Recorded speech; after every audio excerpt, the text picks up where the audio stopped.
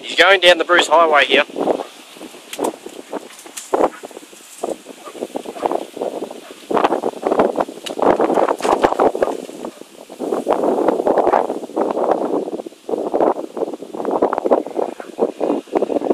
Why do I smell fuel?